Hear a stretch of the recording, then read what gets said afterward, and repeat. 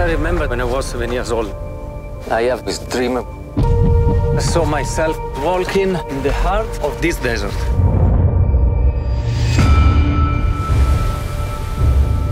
The Rub al Khali, the biggest desert in the world, and still unexplored. I will be the first man to cross it. I have 11 world records for desert exploration.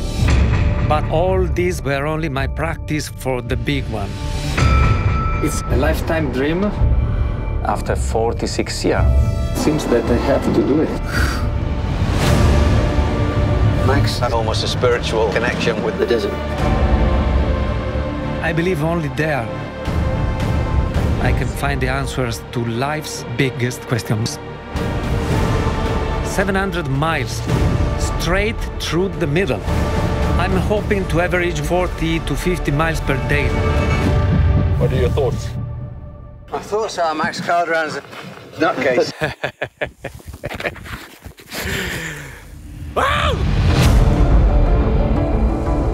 it's serious business now.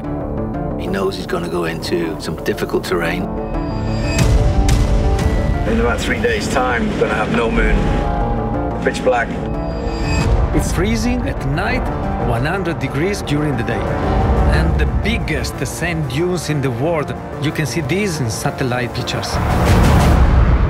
We just won't be able to get into him. When I hug my children, kiss my wife, I think that could be the last. But if I don't go, I will never be happy. And I will live the rest of my life with these thoughts. Visibility now is going to close down quite sharply. In a sandstorm, they could save you if there is opportunity to find you. It's brutal out there.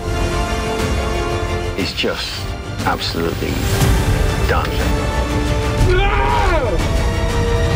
He's lost communication. It's not a good sign. At this point, I think we need to consider all options. You'll never get Max off the desert.